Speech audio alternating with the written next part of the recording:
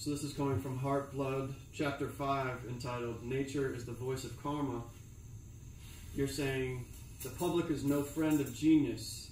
The genius is neither a friend of the public nor a friend of its spokesman, the low spirit critic, or those who hound after creative works in order to demonize them or their creators. And my question is Is there anything to be said about critics and when and when not uh, should one consider their input?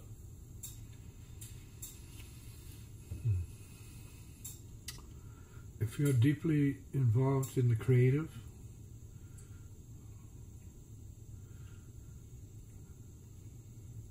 then that becomes the reality for you. When you are not as deeply involved in the creative, then sometimes what's happening outside becomes your reality. What others say, what others do, what the public thinks, and so on. So those are your masters then. If you have contact with the inner properly, the masters in there. So, and its light, in truth, is brighter than everything else uh, when you get there. Uh, and it uses you as a channel of light, and it's really more the outflow than what you're taking in because, you know, you don't really know who you are or what your real value is or what your real worth is or whether or not you're, you're too, let's say, critical or too not critical enough as part of your development would warrant you to develop your stuff to a degree of perfection, which once you're there, you don't have to worry about it, or who criticizes it, or whether it's ever criticized. It is what it is, in a manner of speaking. Hmm. Comment? Hmm.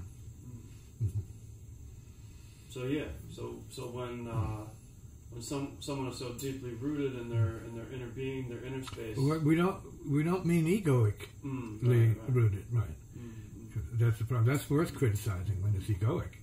See, but when it's from the deeper, mm, see, the heart, let's say, the mystical heart, which has its own tone, its own presence, it has more to do with healing than just impression, you know, or uh, appearance. And we're talking about two different realities. The ego is always going to be suffering criticism, self-criticism, or other criticism, because that's the nature of the ego, to feel and reinforce separateness, see, division, see, conflict, duality in itself, liking, disliking, but uh, we're not talking about that here. We're talking about the deeper, the true deeper, which is wholeness, integration, and what we would call to add to that is like a sense of harmony, peace, and maybe at the deepest end, bliss. And that's the bliss of creation and creativity. And it's something you merge into like a, a, a, a- bath, right? Warm water bath. You, you slip into it, and, and it, it's pretty much taking care of the rest. You just need to relax and enjoy it. Know, know it's working for you. You. You don't have to do anything. Just enjoy the warmth. The warmth is inside. So people have to get there. And they try every trick in the book, right, to get there. Or you can start to be what that is. See, as if you're already there. See, that's the direct way. That's the highest path.